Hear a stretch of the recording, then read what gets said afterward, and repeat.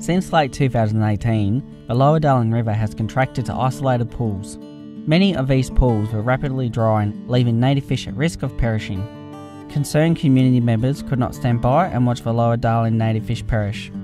With the approval of the Department of Primary Industries Fisheries, Ozfish Unlimited volunteers contributed to a program to undertake native fish relocations during summer of 2019 to 2020.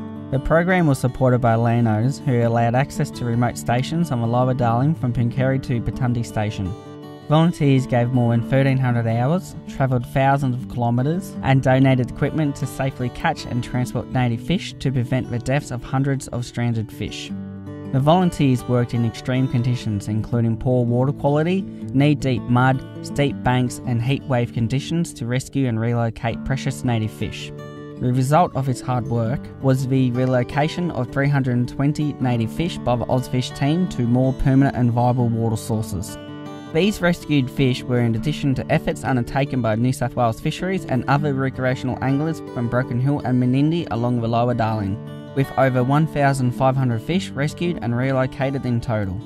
The biggest fish moved by Ozfish volunteers was a 1.26 metre long Murray cod, estimated to be more than 25 years old.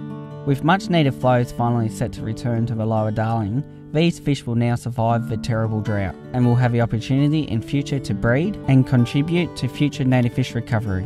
These efforts will benefit generations of Australian fishers.